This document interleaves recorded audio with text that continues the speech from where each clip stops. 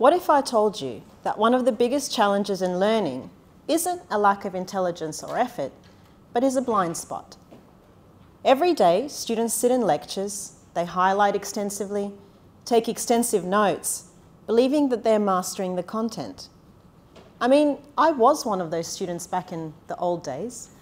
I used to love sitting in lectures, taking very detailed notes. It really made me feel like I was achieving something, like I was learning. But here's the kicker. Many of these strategies simply do not work. And now with ChatGPT at their fingertips, students can get very, very quick answers instead of engaging in the struggle that is required for deeper learning. Research tells us that students often rely on these ineffective learning strategies not because they're lazy, but because they just don't know any better. When I was a little kid, my mum used to send me to bed before a big exam with a textbook to sleep with under my pillow, which clearly was a fantastic resource for learning. And to be fair, it was not very comfortable for sleeping, nor I think it helped me with any of my exam performance. But it was yet another ineffective learning strategy, and probably one that I should have known better would not work. Before I became an academic, I worked in industry as a testing engineer. My job was to find bugs in code, um, to replicate them, and just break things, basically. Yet some bugs always stayed hidden to me, invisible no matter how hard I looked.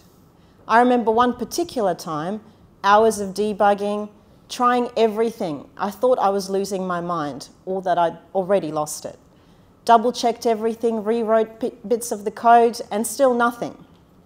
Felt like a case of a missing semicolon for those of you that have done programming. But luckily for my pride, it was a more complex bug. And just like I couldn't see this bug that was staring me in the face, students often can be blind to the flaws in their learning strategies.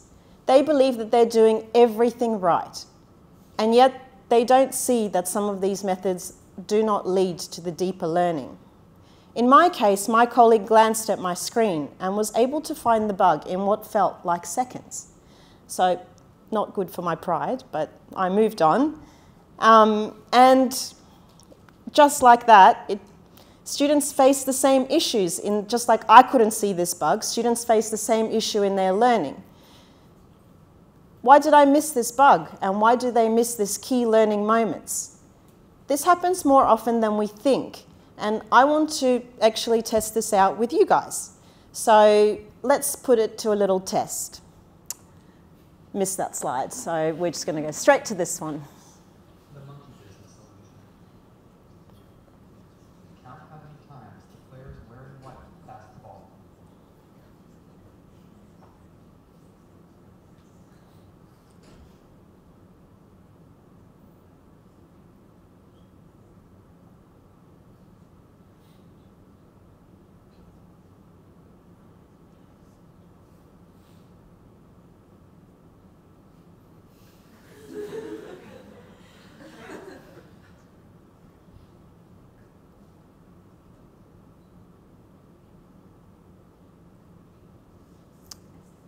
Amazing. So I heard some of you laughing, so you clearly noticed what I thought you would miss. Now, who here counted the number of passes? Was it 20? I can't actually see you, so I'm just going to keep going. Was it 16? It was 16. Um, and who saw the gorilla in the middle of the screen? Yay, a few of you did. For those of you that knew to expect the gorilla, though, did you notice that the curtains changed colour halfway through? Oh, what about one of the players in a black t-shirt left the screen randomly as well? Oh, well, this audience clearly does not, is not, does not have any inattentional blindness. Um, so, what you've just witnessed is something, a phenomenon called inattentional blindness, and much of the research around it is based on a study by Simons and Chabris in 1999. And just like maybe not all of you, because clearly you are feeling great and you can see the gorilla. Just like all of you, some of you did not miss the gorilla. Um, students often miss the gorilla right in front of them when they're studying and when they're learning. Have you ever kind of experienced this kind of inattentional blindness in class? I bet you have. I bet you've gone into a lecture, you've taken some really great notes, then walked out of that lecture and could not actually tell what that lecture was about. It does happen.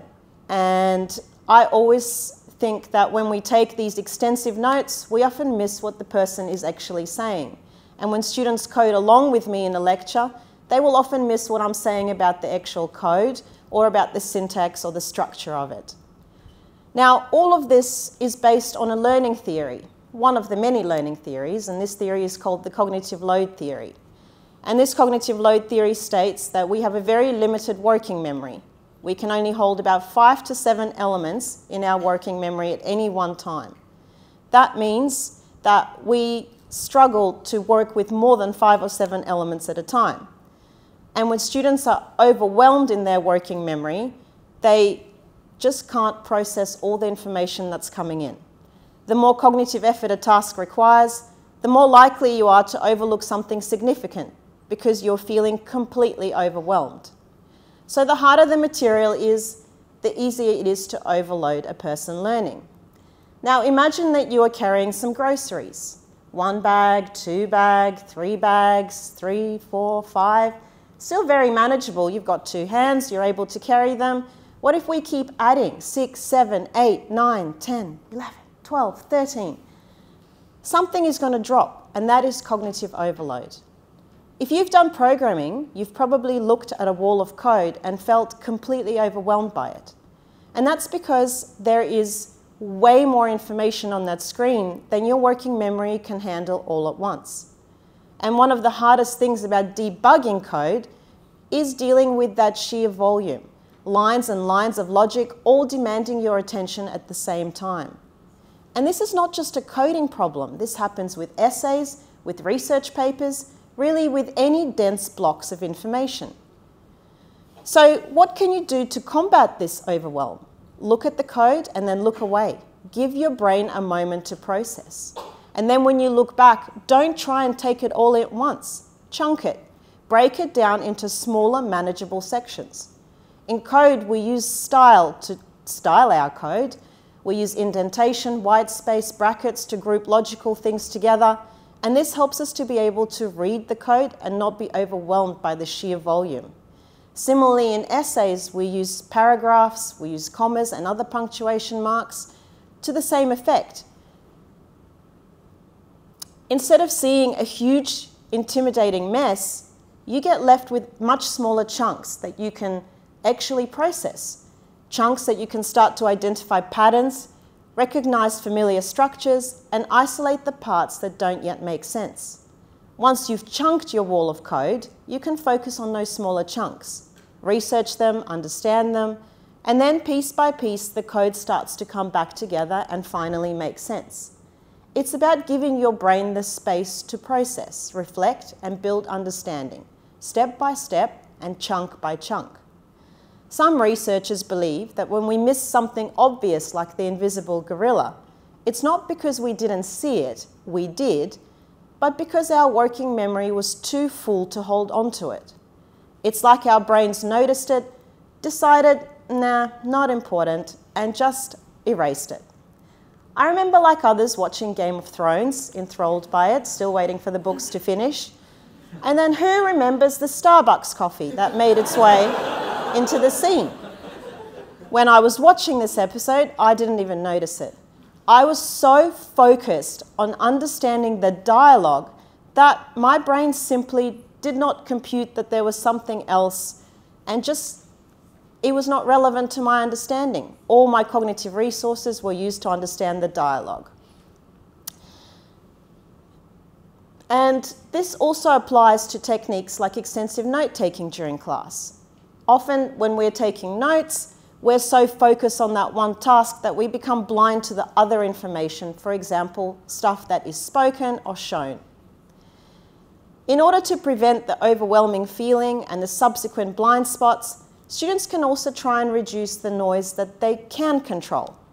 Modern students face information overwhelm all the time notifications, social media, multiple screens, and multitasking.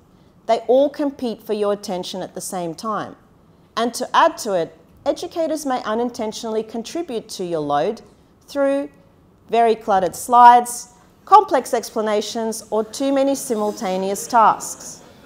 You would feel so overwhelmed looking at something like this that you would struggle to focus on what matters. Research shows that when cognitive load is too high, students retain less information, struggle with problem solving, fail, and fail to see key patterns. So if you're in the lecture watching a cute video on your phone, you're listening to the lecturer, you're also looking up the slides and maybe checking someone out in the audience, you're probably setting yourself up to miss many important points. So what can we do to fix this? Strip away those kinds of distractions. Put your phone on focus mode and put it away. Put your laptop on focus mode so you can stop the notifications coming through. Stop taking extensive notes in class Simply note down keywords that you can then go back to and expand later on. Don't try and do many things at once, just one chunk at a time, bit by bit. And whilst the consequences of inattentional blindness in learning don't seem dire, they are still consequences. A lack of understanding of code down the line may lead to you writing programs that have pretty serious security vulnerabilities or just unexpected failures. And in the moment, what it could be a lack of understanding of a topic or failing the course. And whilst in that moment failing feels awful, it's not the end of the road. Sometimes repeating a course is just what you need to move past those blind spots and to actually get that deeper understanding. Our mistakes allow us to learn a great deal about what we actually don't know. And even in code, some of the best way to learn is to see code fail and to see it fail for different reasons. It teaches us a lot more than having code that compiles the very first time. Similarly, when I was doing a PhD, I had three failed experiments in a row, and I felt like I'd wasted a year of my life by that point, and I felt pretty demotivated. And it is really hard to move past that kind of mindset to this particular and this particular blind spot. I still remember what my supervisor said to me that day, and I reckon it has changed the way that I view failure forever. He told me that we can't have perfect experiments that work out all the time, otherwise, all we're doing is just proving what we already know. And if that were the case, we would never make any changes, never have progress, and never learn anything new. Failure is a chance to change the way that we did something to fill in the gaps, to address our blind spots, and to do something again and to do it better. And this isn't just about programming, it's about how we approach learning in general. One of the most important things you can do is practice, practice, practice. Build up your vocabulary of problems, approaches, and different solutions. Practice helps us to build our expertise, which can also combat inattentional blindness. The more I saw different types of bugs, the more readily I was able to fix them the next time that I saw them and the time after that. And when I, for the life of me, just could not find a bug, then and completely missed the invisible gorilla in front of me, what is most helpful and what often feels the most counterintuitive is to take a step back and to walk away from the problem. That helps us, our brain, to regulate the load again. Because when you come back to this problem a short time later or even the next day, you often perform a lot better than when you did that, when you started. And that's because when you walk away from the problem, the active information in your working memory begins to fade and you are no longer trapped in that initial approach that you took. So your brain starts to make different connections and those connections allow you to solve and see a problem in a very different way. When we manage our cognitive load, we finally see what was invisible all along. The gorilla is standing right in front of us, waiting to be recognized. At the start, I told you about a bug that I just couldn't see. And just like the invisible bug, in learning, we all have blind spots. Moments where we think we are engaging in good learning practices that lead us to understanding, but in actual fact, those practices might be overloading us. The key isn't to continue doing the same thing expecting a different result, but to step back, to remove the distractions, to change your perspective and adjust your approach. Because what you're searching for might be standing right in front of you. Thank you.